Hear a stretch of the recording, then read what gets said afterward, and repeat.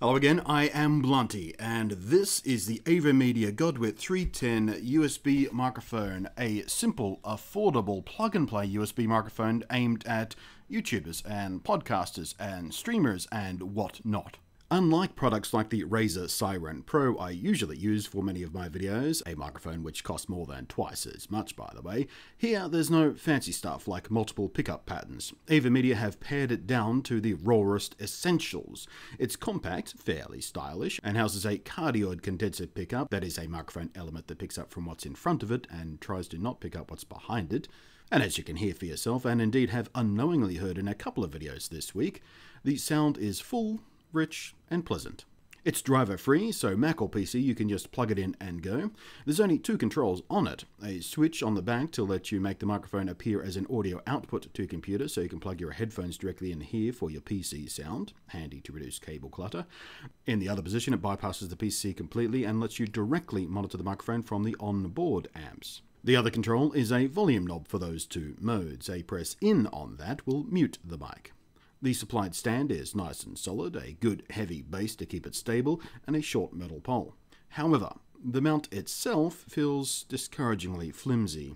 The plastic clamp is barely strong enough to hold the mic up under its own metallic weight, and the plastic it's made of doesn't strike me as something that will last much abuse.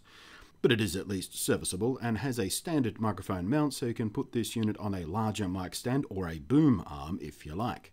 The flimsy plastic mat gives it a little bit of a wobble, which is kind of discouraging, but uh, in my experimentation so far, it doesn't seem to transfer too much noise through to the microphone, and there is no other shock absorbing apparatus on it. So, for some of you out there, you may find that mounting this on a boom arm off your desk will stop noise being transferred up the stand through the microphone. It depends on what you're doing and how you're doing it, really. But that really is all there is to it. Very, very simple, very, very clean, nice styling, as I said.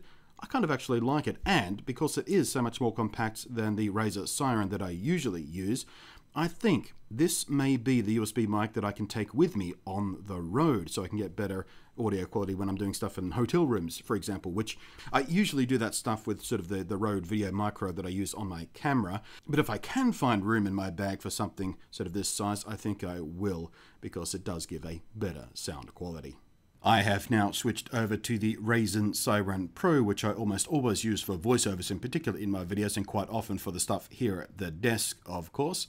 I haven't done any direct side-to-side comparisons for myself yet. Basically, when this came in, I just plugged it in and started using it, and I didn't immediately hear any difference to how I usually sound versus this thing. But of course, now in this video, we're doing a kind of direct head-to-head -head thing. I have now switched back to the AVerMedia mic for a direct comparison. Same settings, same levels, same software, same everything.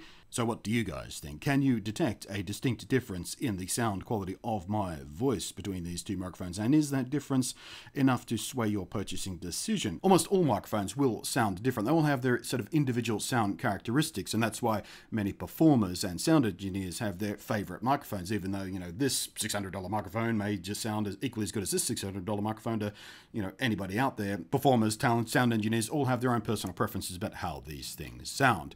I'm basically just waffling a bit now so we get time enough to switch between these two microphones for you to make a call on how they sound.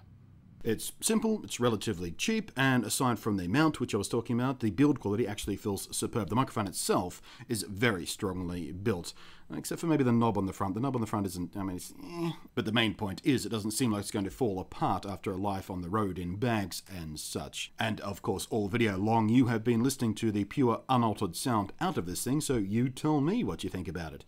Thanks for watching, I am Blunty, and I'll catch you next time.